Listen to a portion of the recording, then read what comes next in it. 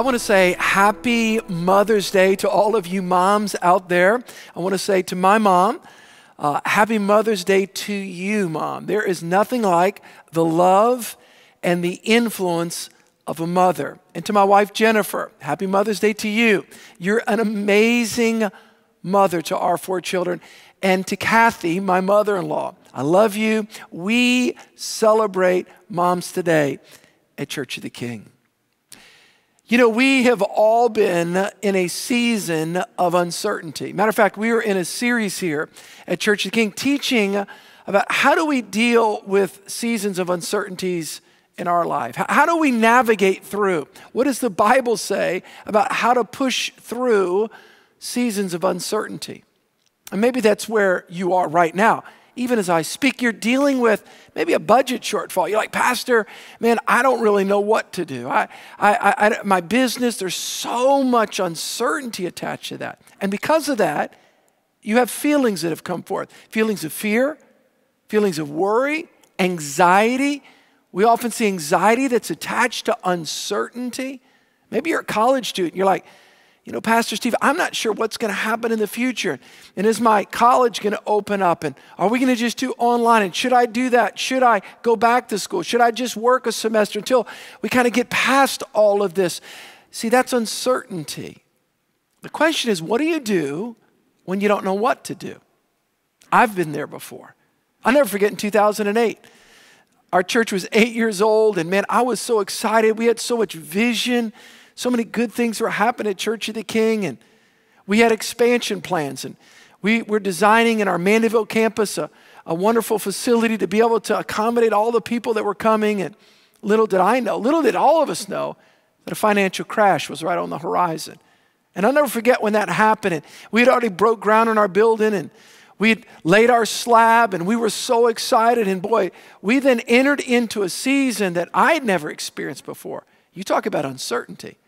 And there comes those feelings of fear, anxiety, worry, and we're grappling with all those realities. And, and the question, what do you do when you don't know what to do? And maybe that's where you are right now. Maybe you're, you're having to make some big decisions. And you're like, Steve, I don't know what to do. The question is, what does God tell us in His Word? Is there any keys or is there any biblical insight that we can gain to help navigate through times of uncertainty. We've been looking at the children of Israel in the book of Exodus, chapter 14, when they were in a very difficult place. Matter of fact, they had been delivered from Egyptian bondage. They were there 400 years in Egypt, serving Pharaoh. And, and now they'd come into a moment where they were delivered from Egypt and they were facing the Red Sea. And they weren't sure what to do and how they were going to get around it. And just when they thought, maybe we can just turn around and go, they saw Pharaoh's army coming behind them. In other words, they couldn't go forward, but they couldn't go backwards. That's where some of you guys are right now. And you feel stuck and, and you're not sure what to do. And it was in that moment that God spoke to Moses, their leader. And God told Moses, Tell the children of Israel to do these things. I want to read again in Exodus chapter 14, starting in verse 13. I'm going to read a couple scriptures. This is so powerful because this is where some of you are right now. You're, you're, you, you feel stuck between a rock and a hard place. And you're asking God, God, what do I do? What do you do when you don't know what to do? Listen what God told Moses to tell the children of Israel. And Moses said to the people, number one, do not be afraid. Number two, stand still and see the salvation of the Lord, which he will accomplish for you today. For the Egyptians who you see today, you shall see again no more forever. Next verse, watch verse 14. And the Lord will fight for you. Isn't that powerful? Man, I want God fighting my battles. How about you? And the Lord will fight for you. And you shall hold your peace. Boy, isn't that a beautiful word? The peace of God. I want to talk to you today about how we can walk in supernatural peace. Look at the fourth thing that God told Moses to tell the children of Israel. And the Lord said to Moses, Why do you cry out to me? Tell the children of Israel to go forward. God tells Moses, Tell them four things. Number one, fear not. Number two, stand still. By the way, we talked last week, standing still in the Bible is never, it's never passively resigning yourself to circumstances, but it's actively standing in faith on the Word of God, believing that at any moment, at any moment, God's going to show up. Something's going to happen. We're standing, we're trusting God. Number one, stand, listen, fear not. Number two, stand still. Number three, hold your peace. And number four, go forward. Today I want to talk to you about what does the Bible mean by, quote, holding your peace. You know, in this series, we're learning. We're learning how to navigate. I trust that this has become maybe a decision making grid for all of us, that, that we can use this. Because the, the, the issue is, is that whether we are in this particular challenge or another challenge, there are always natural human responses to uncertainty, fear, anxiety, worry. That's why, fear not. Stand still, hold your peace, and go forward. There is a battle for peace in our lives. I'm convinced that one of the greatest ploys of the enemy is to keep us so bound up, so worried, so agitated, to steal peace out of our lives. If he can get us out of peace, if he can get us into anxiety and worry and fear, where we're not walking in God's peace and his supernatural peace, I'm telling you, God, I believe, is hindered from working in our lives. Why?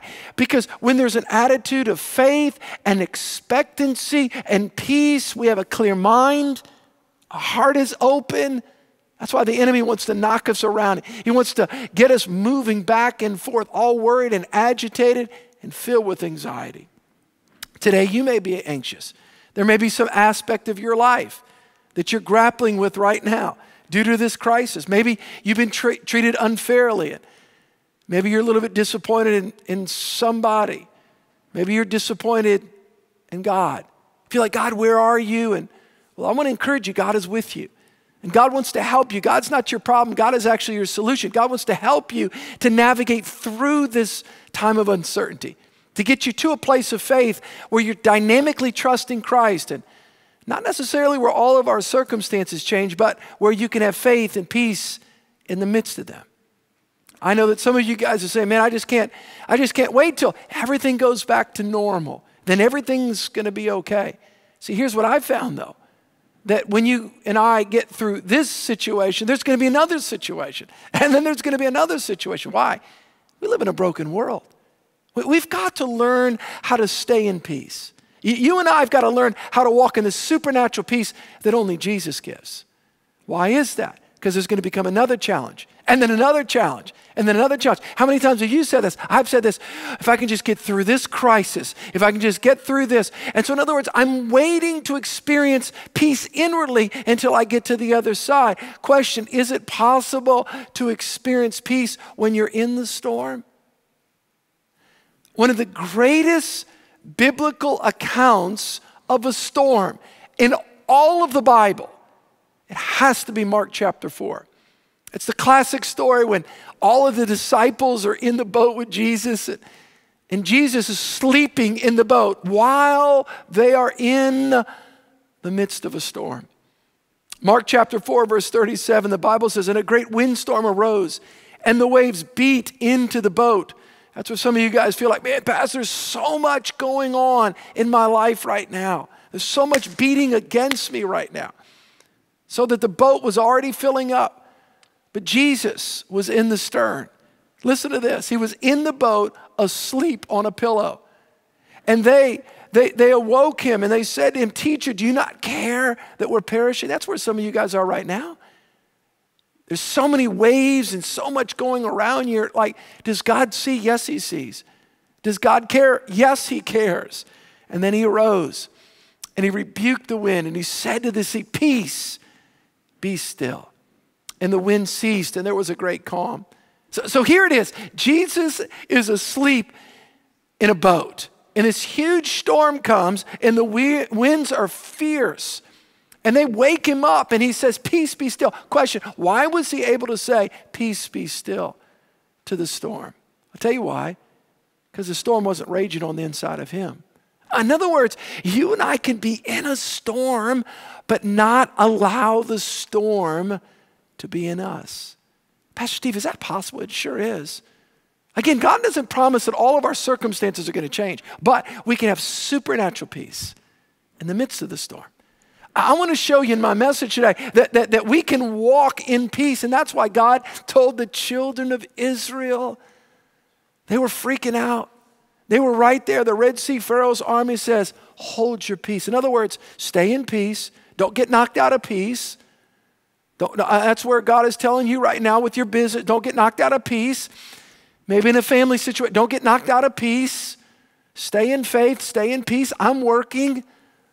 I have your back. I'm for you. Stay in peace. I've been walking many, many, many years with Jesus, and I've walked through many, many transitions in my own life and with people. And I got to tell you, though, if the enemy can steal your peace, get you all messed up, you know, you driving in your car, somebody cuts you off, man, you're worshiping God, and all of a sudden you just want to just, you just all of a sudden, in a moment like that, we can lose our peace. How can we go from the from the very presence of God to the very flesh? You know exactly what I'm talking about.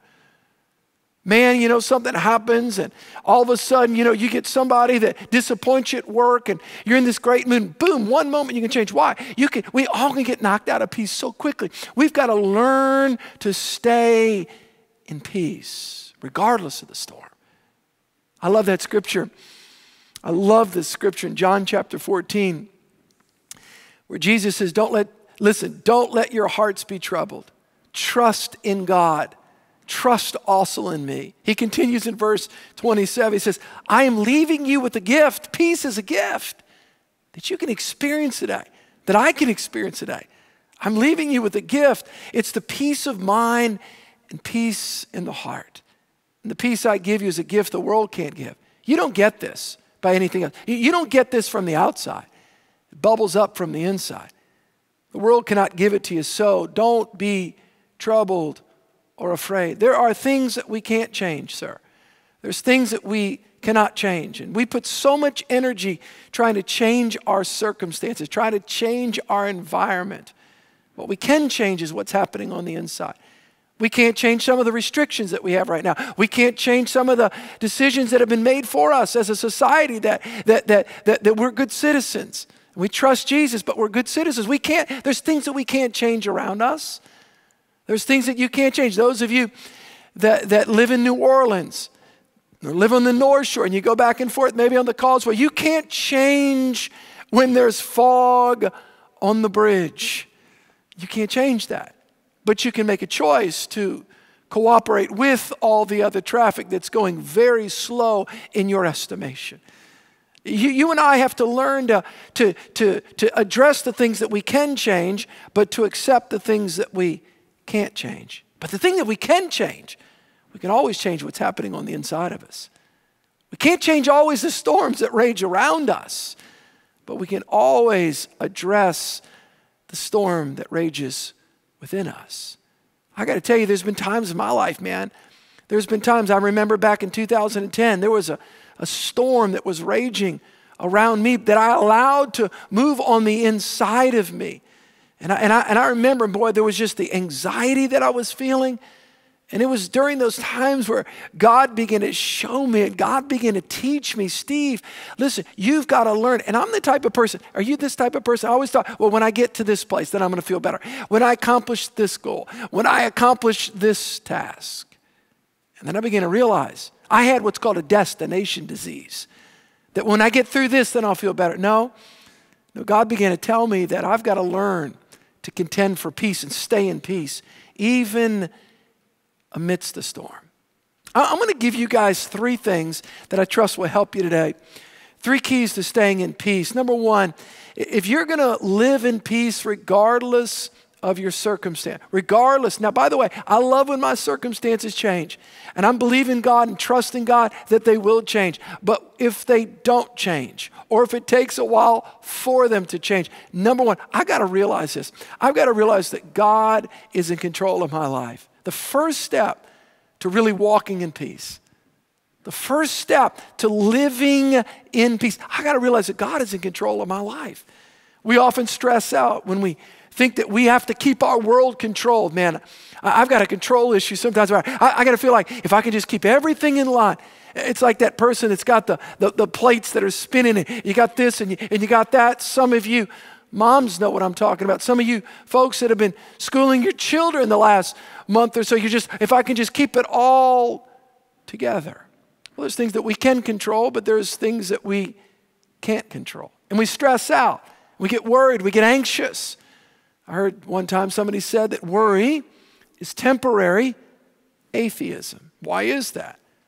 Well, the reason is that when we worry, we're temporarily losing sight of the fact that God is in control of our lives.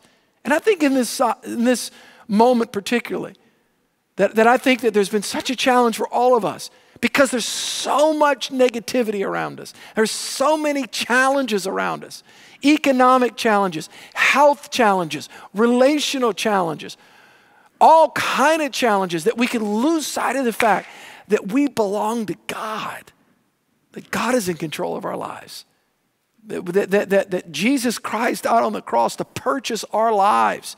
That if we'll trust Him as our Savior, as we trust Him as our Lord, that, that we belong to God. Man, I lose sight of that. And when I do lose sight of that, that's when worry kicks in. It's almost a direct proportion. The more that I realize that God is in control of my life, watch this, worry is reduced. The more I forget the fact that God is in control of my life, worry increases. Number one, if you and I want to live in peace, we've got to realize that God is in control of our lives. You know, one of my favorite scriptures, I probably have six or seven key scriptures. You'll hear me talk about them all the time. And one of those is Romans 8 28. And let me tell you why. It's so powerful, it's so redemptive. Let, let me read it to you. Romans 8 28. I love this scripture. You need to memorize this scripture. This will bring, soul, this will bring peace to your soul, regardless of what you're going through. Listen to this. And we know, Paul writes to the church at Rome, he says, We know that all things, yeah, even negative things, we know that all things work together for good I didn't say that God sent all things. I didn't say that God causes all things. I am saying that God can take all things. We know that all things work together for good to those who love God. Do you love God? And those who are called according to his purpose. I, I remember when I graduated, I graduated from college in 91 and Bible school in 93, and then I came back to New Orleans and started in the seminary. And I'll never forget during that time, I, I felt, man, I was ready to preach. I felt I was called to ministry, and, and this was the moment. And, and yet, I don't know why I didn't really have an opportunity at that time the way that I thought. I remember I was working at a restaurant, Semolina's restaurant on Metairie Road. Some of you guys may live close to there, know exactly where that was. And I never forget, man, going through that time. And I had a, a friend from college, and he came up to me and he, he hadn't seen me in a couple years and he was wondering, Steve, why are you working here? And I thought you were called to ministry and got like, what are you doing? And, and you know what I realized during that time? That my timing is not always God's timing. And what happens is when my timing doesn't align with God's timing, I lose sight of the fact that God is in control of my life and his timing is good. See, God's also working in me. Before God wants to work through you, he's working deep within you. And the reality is, is that I've, I had to believe God, that God had a perfect timing for my life. God is working all things. I want to encourage you right now, even in the midst of hardship, even in the midst of pain, and some of you guys are experiencing deep pain in your heart, God is working. Trust Him. All things, can you say that with me? Say it. All things work together for your good and His glory if you trust Him.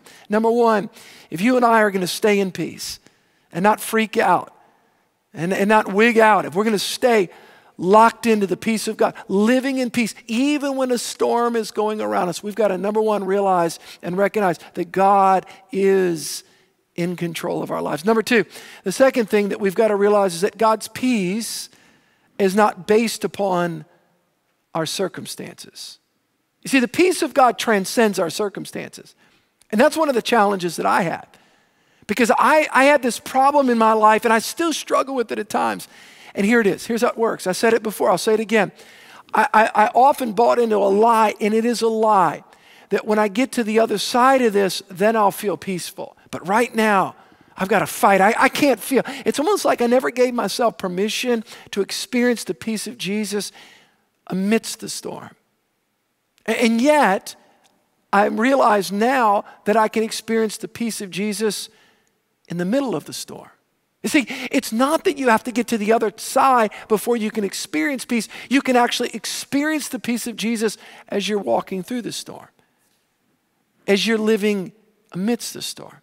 But if you think that your peace is based upon your circumstance, that's how the world is, right? How are you doing? Great. Why? Because everything's going great. But what happens if something doesn't go well with your job? What happens if something doesn't go well with a child? What happens if something doesn't go, well, I don't do, I'm not doing, how are you doing? Not good. Why? Because of that. So, in other words, in the world, our feelings of satisfaction, our feelings of peace, our feelings of contentment, our internal world is so manipulated by our external world. And yet, peace is a gift that Jesus promises to his followers that is independent of our circumstances. I love the Apostle Paul. I teach a lot out of the New Testament and, of course, the Old and New. But I, but I love the Apostle Paul, and it's because he found himself in so many circumstances that were less than favorable. In other words, he was in a prison. Well, what did he do? He said, All right, I'm in a prison. He was anointed by the Holy Spirit. He began to write two thirds of the New Testament. While in prison, Paul the Apostle understood how to grapple with circumstances. Had a guy tell me one time, Man, I wish I was in the Bible, not me. Oh, man. These people, God shows us all they're good, they're bad, and they're ugly. So when I read something that Paul wrote, and we believe that the, the Bible is inspired by the Holy Spirit, but I love reading what Paul wrote because when Paul writes something, I know that this is a man that grappled with in, intense circumstances. Listen to what Paul says about peace. This is so powerful. Paul says this in Philippians chapter 4. He's writing to the church at Philippi. And here's what he says. Now, think about this. Here's a man, he was whipped, left for dead. He was shipwrecked, the Bible says, a night and a day in the deep. He's in prison writing. Listen to what Paul says. He says, Be anxious for nothing. Be anxious for nothing. Can I pause there for a moment? Can you imagine the quality of your life and my life if we actually, if, if this was actually part of our lives? Be anxious for nothing. Oh my gosh. If, if I learn how to conquer anxiety, if I learn how to walk through anxiety, wow, be anxious for nothing, but in everything, by prayer and supplication, with thanksgiving, let your request be made known to God. Let me read the next verse. This is so good. And the peace of God, there it is, and the peace of God, which surpasses all understanding, it will guard your hearts and your minds through Jesus Christ.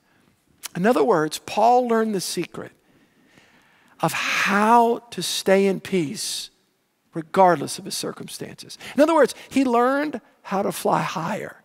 It wasn't that he wasn't buffeted, it wasn't that he wasn't persecuted, it wasn't that he didn't end up in jail for preaching the gospel at times and how to grapple with all of those circumstances, but he understood how to fly higher.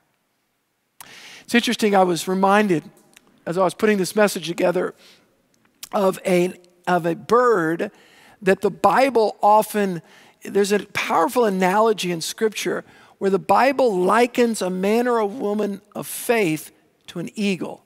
Isaiah talks about that we mount up like with wings like eagles, and there, there, it's an interesting bird, and and, and there is an there is a what I would call an antagonist if you understand Greek plays, there's a protagonist and there's an antagonist. The antagonist to the eagle is the crow. And it's interesting if you've ever been outside in the forest area and you've seen an eagle, they, they, they do not, and you can read about this, they do not like the crow. It's almost like crows strategically will come up and try to steal the peace of the eagle. But God designed the eagle with an amazing wingspan. And the way that the eagle gets away from the crows, you know, you know, a crow, caw, caw, they just come, they just come after that eagle. The way that they get away from them is not by turning and fighting them, but by stretching out their wingspans and hitting that, that, that, that wind current and brings them up, so, it brings them up higher than the crow can fly.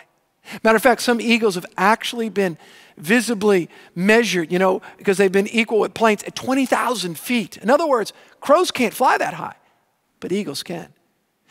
God has designed you, sir, God has designed you, ma'am, to fly higher. What that means is, is that you don't have to be drawn down. You don't have to get down in the ditch with all your circumstances and all the bad attitudes and all the worry and all the bitterness. You may be with some people that are so upset. They're mad at this. They're mad at these people. They're mad at this group. You know what I'm talking about. They're always mad at somebody. You don't have to be pulled down in that. In other words, you don't have to lose your peace. You don't have to lose your cool. You, you don't have to walk in stress and anxiety and fear and worry, but you can fly higher. Paul says, in the peace of God, which surpasses your cognitive reasoning skills. In other words, your cognitive mental, where, where, you're, where you're always analyzing all the negative scenarios that could happen to you. And yet, even amidst all that, you can experience a peace that'll guard your hearts and minds. Paul says that's a gift, and it's available to you. Number one, we've got to realize that God's in control of our lives. Number two, we've got to realize that God's peace is not based upon our circumstances. And number three, we've got to remember to practice the presence of God on a daily basis. As human beings, we have to understand that God is not just omnipotent. And or omnipresent. Let me say it this way. There's three big terms that people use theologically, the omnipotence of God. Omni is a Latin word which means all omnipotent, all powerful. You ever heard that before? Omniscience, all knowledgeable. But you also hear this other word, omnipresent. Omnipresent means that he's all present. He's not just all present, but he also manifests himself, and, and you can actually feel his presence when you worship him when you honor Him, when you spend time in prayer. In other words, you can actually sense the presence of God. Now, that may be new for some people, but when you learn each day to wake up and to press into the presence of Almighty God, it sets your perspective. It doesn't necessarily adjust your circumstances, but it adjusts your attitude. And when you do that in the beginning of the day, uh, C.S. Lewis, one of my favorite authors, he, he said this in Mere Christianity. Some of you may have read the book, one of the most popular books ever written. Here's what C.S. Lewis says He says, The real problem of the Christian life comes when people do not usually look for it. It comes the very moment that you wake up each morning. All of your wishes and hopes for the day rush at you like wild animals. You ever experienced that before? We all do.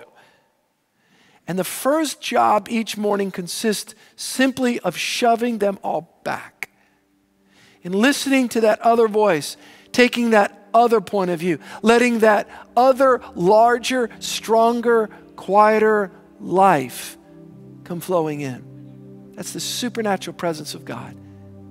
You know, one of the keys that I've found as I've walked with Jesus for 30 years, number one, I want to realize every day and recognize God is in control of my life. Number two, I've got to recognize that my peace, sir, your peace is not based upon your environment. That you can live in the peace of Jesus independent of your circumstances. But number three, I've got to learn each day how to press into the presence of God, where I can sense the very presence of God, where I can, where I can focus. And, and the key there, it is focusing. I want to encourage you when you wake up in the morning. What do you do the first part of your day? You fill your mind with all the news? I appreciate the news.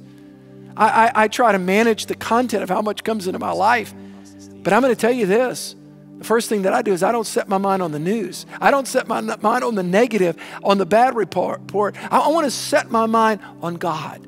And when you set your mind on, on God and you focus on God and you begin to lift your voice to God in your prayer time, in your worship time, in your Bible reading time, and you begin to get filled up with God.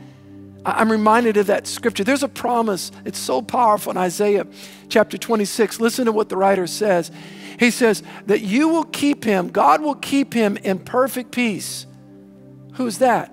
Whose mind is stayed upon you because he trusts in you.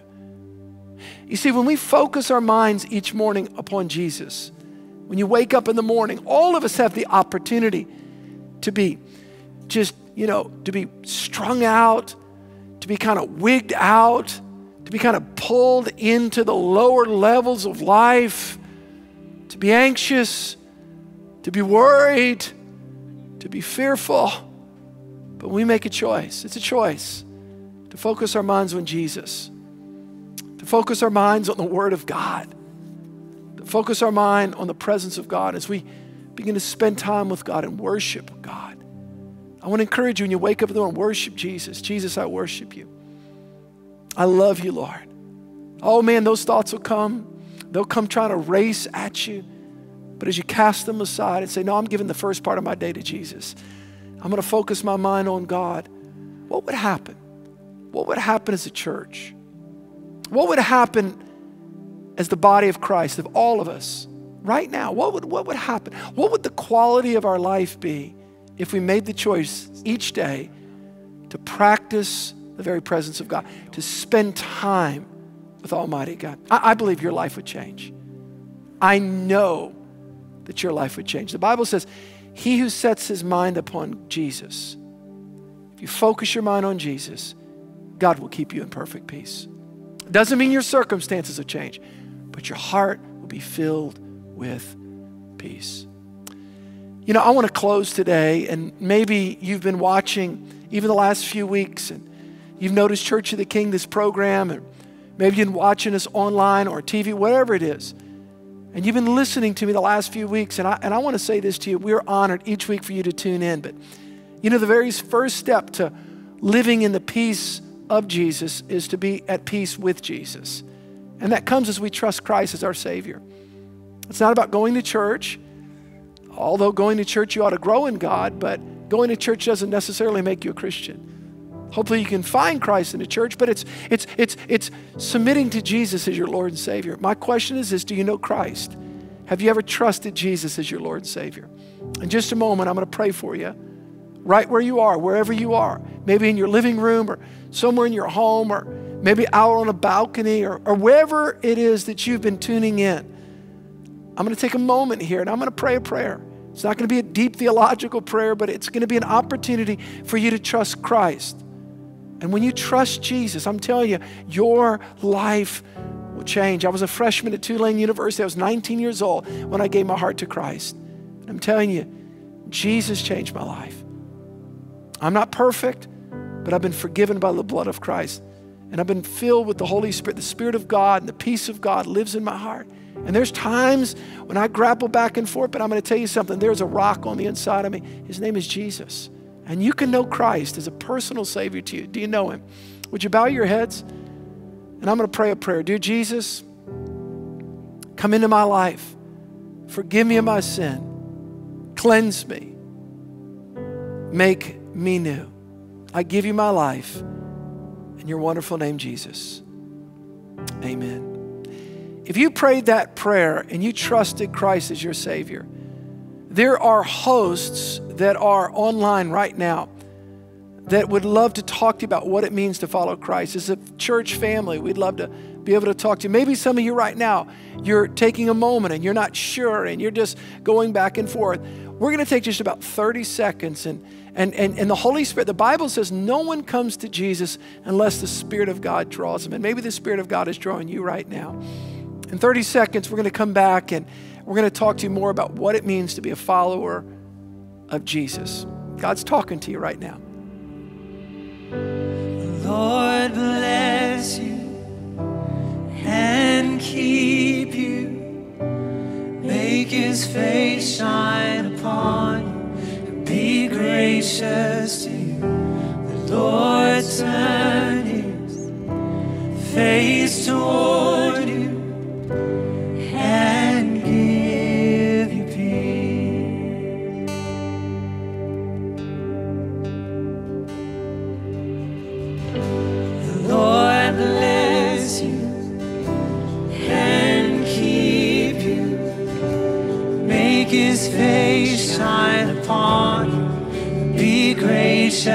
you. Lord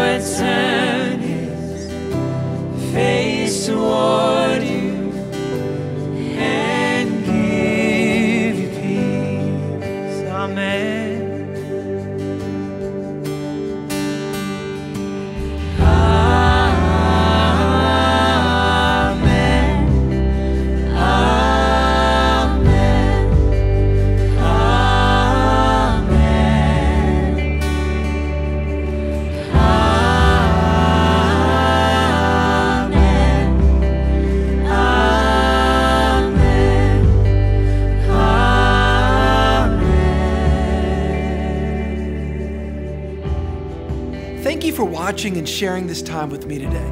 I pray you're already experiencing new levels of peace in your heart and mind. And if you made a decision to follow Jesus Christ, please text Decision 2020 to 25827. And to all of you moms, Happy Mother's Day. I pray you have a wonderful week and, like never before, that you stay in peace. Remember, God is greater than any uncertainty or challenge you face. God bless you.